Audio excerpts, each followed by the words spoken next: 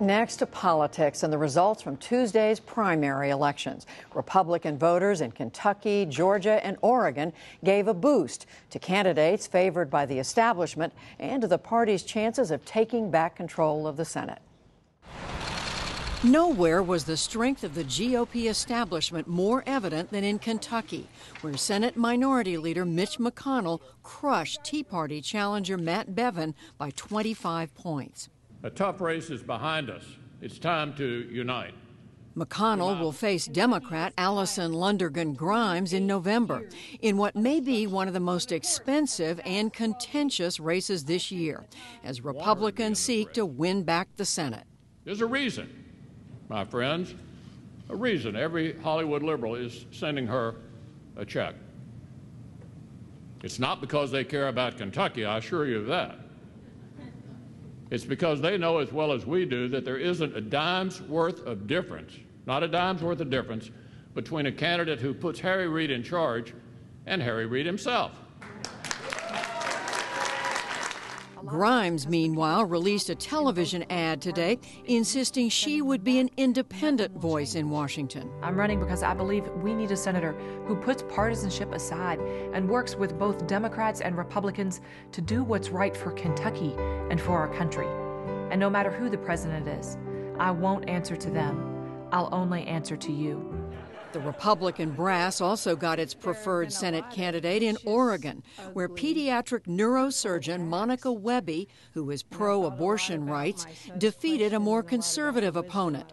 They hope she can stretch the political map and challenge Democratic Senator Jeff Merkley in the fall. In Georgia, businessman David Perdue and Congressman Jack Kingston Two candidates, also favored by the Republican establishment, advance to a July runoff. The winner will face Democrat Michelle Nunn, daughter of former Senator Sam Nunn. Two weeks into Washington Matters, changing the culture of Washington, building out relationships. I pledged to meet with every senator in the first year. You know, I want to find common ground. In the race for Georgia governor, Democrat Jason Carter, grandson of former President Jimmy Carter, will take on Republican incumbent Nathan Deal. And in Pennsylvania, businessman Tom Wolf easily won the Democratic gubernatorial primary. His fall opponent will be Republican Tom Corbett, one of the party's most vulnerable incumbents. With us now, two reporters who follow American politics about as closely as one can Jonathan Martin of the New York Times and Dan Balz of the Washington Post. And welcome to you both back to the program. Thank, Thank you. you. So, Dan, let's start by talking about the Republicans, Kentucky, uh, the Senate Minority Leader who wants to be the Senate Majority Leader, uh, Mitch McConnell. He pretty much coasted to renomination. What was that all about? Well, he said, he told Jonathan's newspaper uh, two months ago, he, they were going to crush the Tea Party everywhere. Uh, and he led the way last night. I mean, I don't think anybody thought it was a surprise that he won, but I think the margin was more impressive than some people thought he might do. Uh, and he was, I mean, the, the thing we know about Senator McConnell is he is a tough, tough, tough campaigner. And he demonstrated that in this race, and he put Matt Bevin behind him uh, and, and, is now focused squarely on Allison Grimes. And this race going into the fall is going to be a repeat of that very tough race. So, Jonathan, were the forces at work in Kentucky the same things that were at work in Georgia, helping the mainstream Republicans there, in Oregon, or are we talking about something different? I think each of those states is a, a little bit unique because obviously races that feature incumbents, and certainly those who have been there for 30 years, are always different than those that are, are open races. But I think the recurring theme here is that you see Republicans learning the mistakes of the recent uh, election cycles in which uh, they didn't put enough care into nominating some of these candidates. It's not just pure ideology, it's also just the, the quality of the candidates and the nature of the campaigns. And I think that those who are better candidates, who are raising more money, uh, and who, who are smarter and shrewder about how they approach the campaigns, are doing better. In some cases, uh, the, the, candidates are a little bit more conservative, but it's more about, about the candidates, I think, this time around. And and, and Dan, uh, is it's because it, what I want to ask you, it's not that the conservatives don't feel every bit as passionate about what they believe, is it?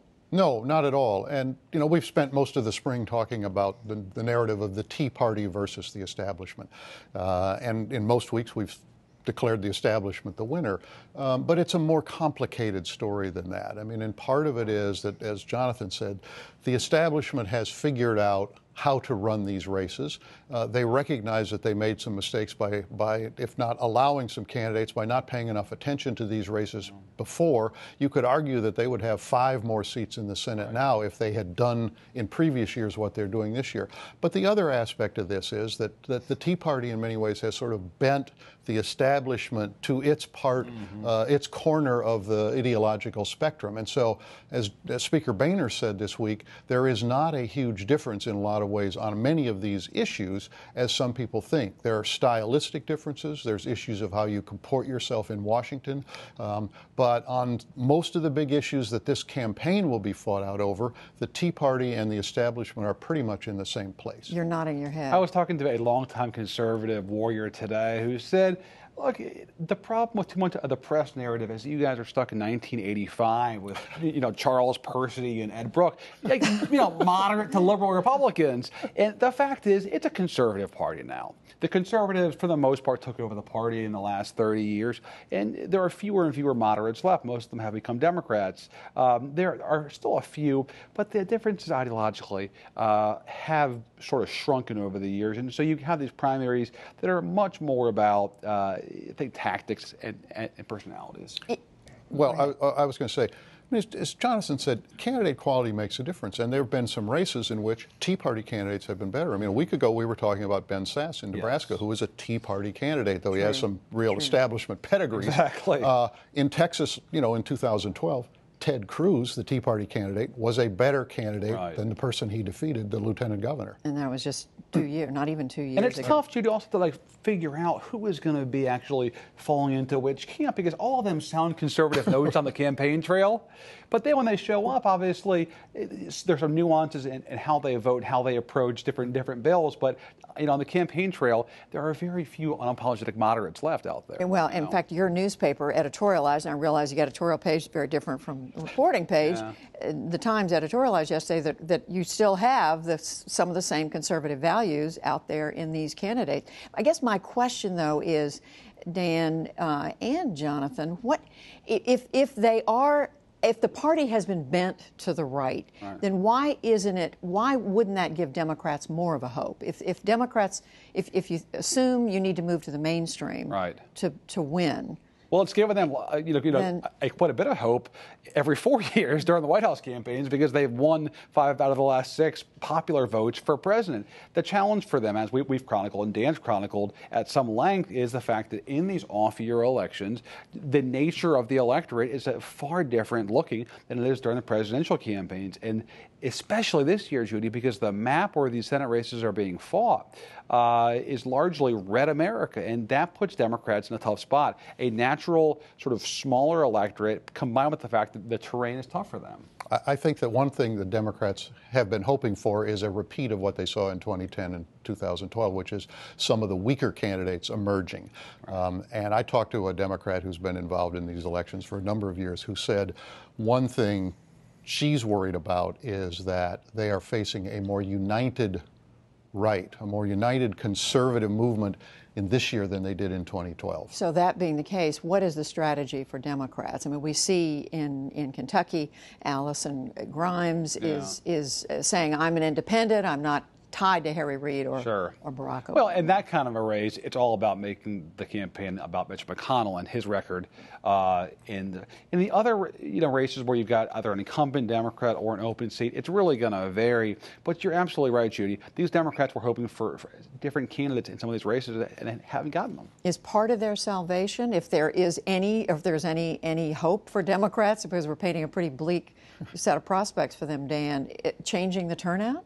Well, that's what they're hoping to do. I mean, I, I, think that their belief is that a number of these candidates who have, in a sense, moved to the right will be less acceptable to the population at large. But the truth of the matter is, most of these tough races are being fought in red states, so that's not necessarily going to work.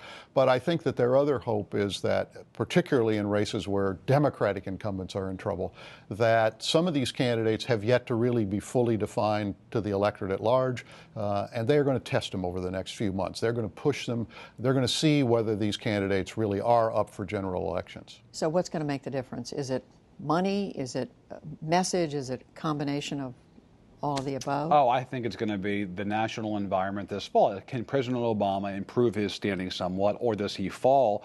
A lot of these races typically turn on where the president is. Look at 1998. The economy was going great guns, therefore, Bill Clinton was fairly popular despite the sort of lingering scandal around him, and, and Democrats did fairly well. So, where's President Obama this fall? That's what I'm going to be watching.